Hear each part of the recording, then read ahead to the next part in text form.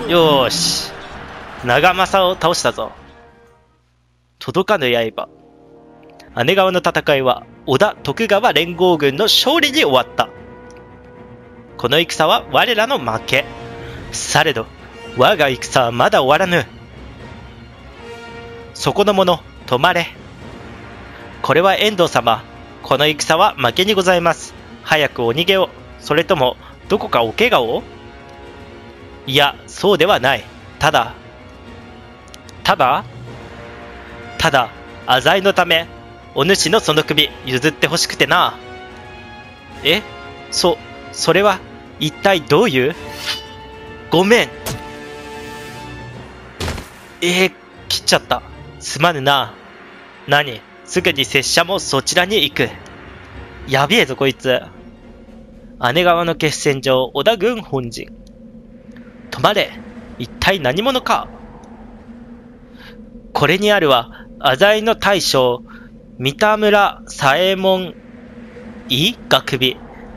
ぜひとも信長様にご見分いただきたい。三田む、三田村、あの三田村か。誠であれば、お手柄であるな。しからば、こちらに来るがよかろう。見えたぞ、信長。貴様の首、この刃でいただく。信長様、敵将、三田村左衛門伊が首を、お待ちくだされ。む、お主は木下の。はい、竹中半兵衛と申す者。私は織田に仕える前は、浅井の触覚として近江におりました。地下症をなさっているようですが、私の目はごまかせませぬよ、遠藤直常様。な、遠藤信長、覚悟おお、どうする信長く、長政様、申し訳ございませぬ。あ、死んだな、これ。己くせ者めが、信長様、申し訳ございませぬ。構わぬ、虫の羽音よ。さすがは信長様、眉一つ動かさぬとは。三好、本願寺、それに義明、虫どもが動き始めたようだな。三好はもういないけどね。ふふ、信長様は誠に興味のない者には冷たいお方だ。自らに刃を向けた者を一個だにせず、もう次の戦を考えているとは。戦いは勝利に終わったが、浅井朝倉軍にはまだ余力が残っており、一方でこの勝利による信長の勢力拡大を恐れた三好家、そして本願寺家が反信長の姿勢を明確にする。信長はこれ以降、窮地に立たされることになるのであった。やばいぞでも、三好はもういないんだ。よし、信長の勝利で終わったね。俺に背くことは許さぬ結構いいキルレもしてますね。うんうんうん。悪くない悪くない。これで、浅井の領地をこのまま取ってしまえれば楽だね。浅井との決戦に勝利しました。当家の戦意は大いに高まっています。今こそ敵を追い詰める好機です。よしよしよし。まあ、すぐにこいつらも登用に応じる。で、原稿録が多分追加されたんじゃないかな？あれ？原稿録追加されてないな。もうちょい時間経たないとダメか。まあ、とりあえず、信長に長政のいる織田に落としてもらう。織田にね、ここ戦場条件が狭いんで、後で取るの大変なんで今取ってしまいたい。志お？九条八幡城に所属していた吉田なんちゃらが死亡したと。ふう、そして中心。今日二条御所。信長包囲網を結成したこの日、足利義明が御所に招いたのは意外な人物であった。お招きに預かり、光悦至極に存じます。よく来てくれたな、久秀。早速じゃが、そなたに聞いておきたいことがあっての。何なりと。我が兄、先々代の将軍、足利義輝が死んだあの日、そなたは大和におった。そういないなはい、間違いございませぬ。なれば続けて問おう。そなたは幕府のお供衆、すなわち幕臣。その忠義、今も変わってはおらぬなはい、変わりありませぬ。さればよ、今の将軍であるこのわし、わしの命に従う気はあるな叶うことなれば、いかなる命でも従いましょう。しからば、信長に兵を向けることは叶うなあの日、我が兄に対してそうしたように。どうじゃ義明様、そのようなこと、軽々しく仰せになってはなりませぬぞ。やはり、そうか、やはりそなたは、企みというものは軽々しく人に言うものではございませぬ。味方になると分かりきっているもの、味方にならざるを得ないもの、これらのものにのみ話すべきでございます。な、なれば、そなたは味方にならざるを得まい。この御所には、そこ、かしこに兵が伏せてあるからにございますかな？き、気づいておったか。武士に刃の脅しは通じませぬ。いざとなれば私はこの場で腹を切るでしょう。ぐ、ぬぬの信長に告げる気か？わしの企みを。ご安心召されよ。この久秀、将軍様をお助けいたしますゆえ。それにと、信長はもうとっくに気づいておる。確かに姉川の戦いの時言ってたもんね。な、なんじゃと、それは誠か。はい、どれほどお力になれるかわかりませぬが。なぜじゃ、なぜ、わしに力を貸す気になったのだ？ふふ、なぜとは、将軍様から呼び立てておいて、それをお聞きになるのでございますか？そうですな。私が細川殿とは違い、幕府の中心であるゆえ。それではいけませぬかな？あれ？細川藤孝って足利の中いなかったか？信じられぬ。はっはっは。あとは強いて言うなら、将軍様が義輝より見込みがあるからにございます。あの、甲斐の滝田信玄を動かすとは、将軍様には祭りの際がございますな。え？信玄かどうのこうのとか言ってる。そ、そうか？そういうことなら、そうなのか？おう。わしは心のままに生きるのみ。それにはあの信長の強き関わりは、触り以外の何者でもないのだ。さて、ここで信長を殺せればよいのだが、松永久秀もまた足利義明の命を受けて信長包囲網に参加。自ら気づいた県城、篠山城で兵を挙げることになった。にゃー、久秀。そして幕府に逆らう、不埒なる織田よ。我が刃を持って成敗してくれるわ。え、お前、織田家のおかげで、足利家復興したのに、こいつ、刃向けようとしてるぞ。お我が義の刃を持って成敗せん。ありがとう。織田よ、我が力をがさん。よし、上杉は味方。毛利も味方だ。姉小路も味方。武田は足利にお味方か。朝倉も、まあ朝倉はそうだろうな。でも、どうにかなりそうか。石山本願寺。信長を撃ち滅ぼすのです。え、マジで？辛すぎない？きついきついきつい。本願寺家の助力はうざいな。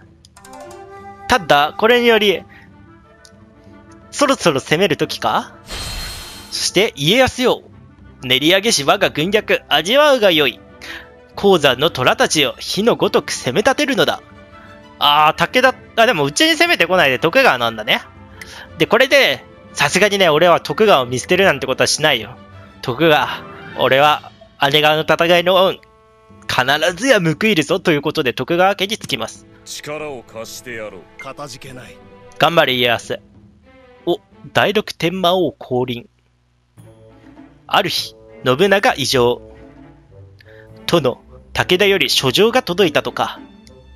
ああ、あのくだらん書状か。ここにある。好きに見よう。では失礼して、このところの貴殿の行状、神仏を恐れぬ、不敬極まりないものである。延暦寺を焼いた件にございますかなそれ以外に何があるというのだ。橋場、続きを読め。貴殿の、貴殿のごとき天魔の変化を放ってはおけぬ。近々上洛し、その首頂戴せん。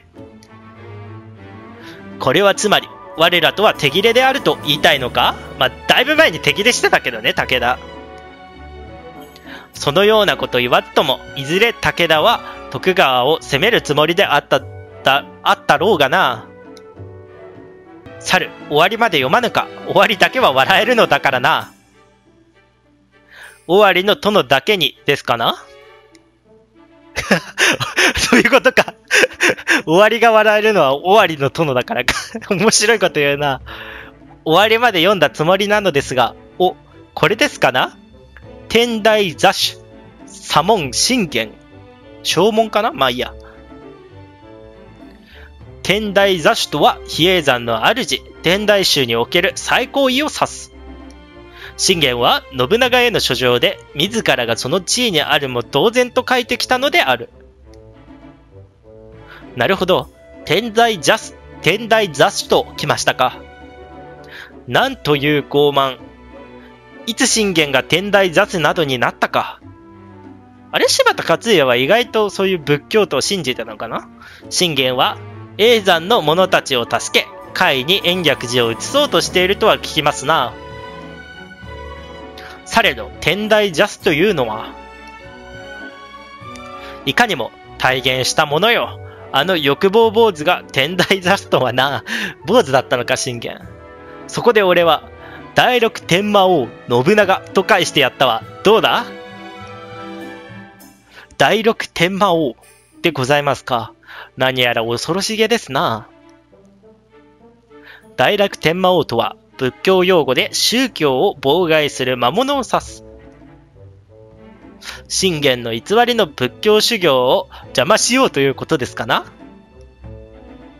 ふふ、実に見事なお返事かと。いや、うまいこと返すよね。その、仏教徒のトップだぜって言ったら、いや、俺それ妨害するやつだからって返しちゃうってことだもんな。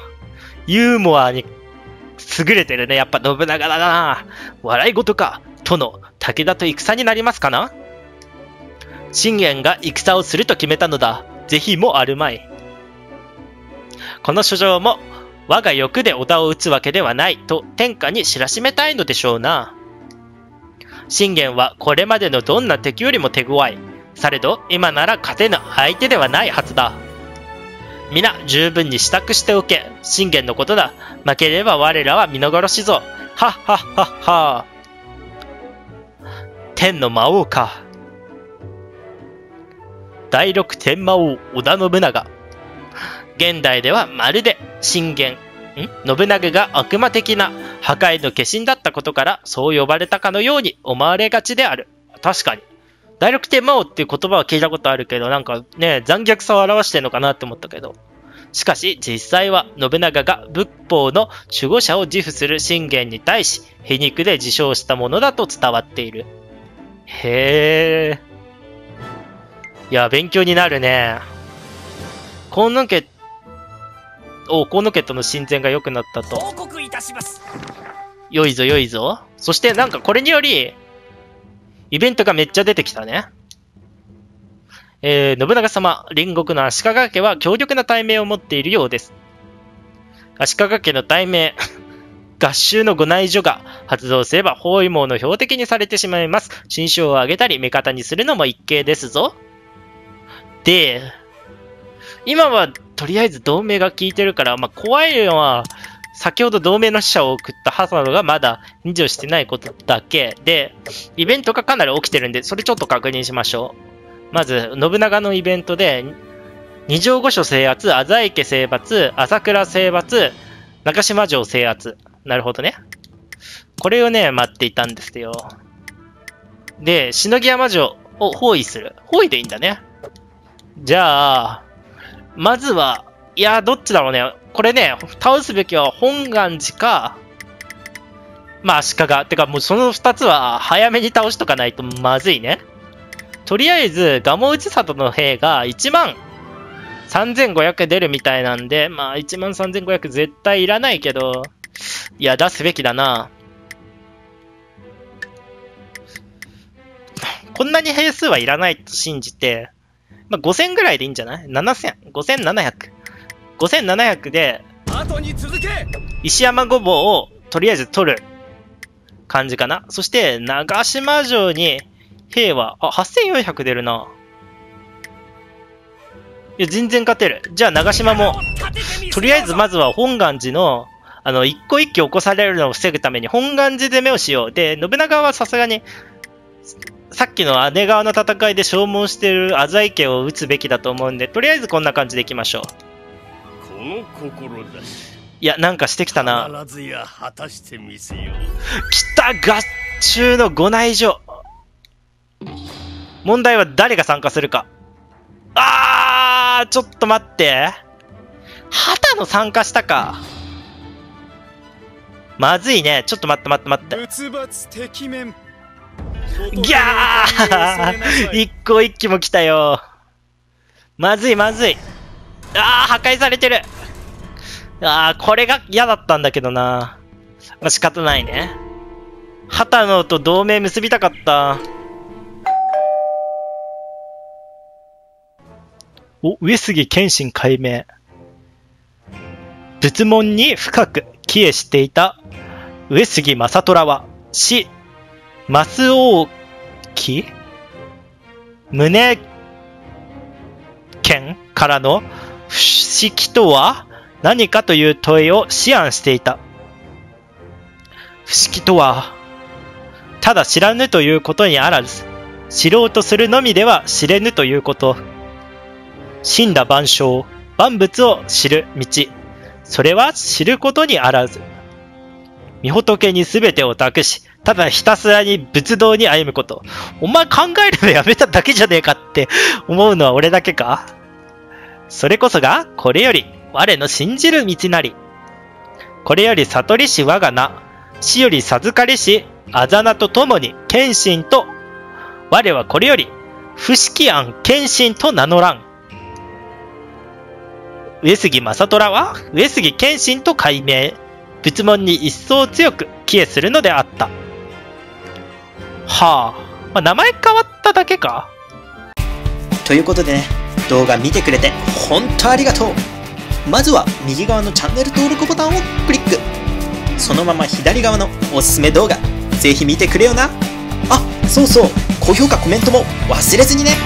ということでね、また次回の動画でお会いしましょう。じゃあね。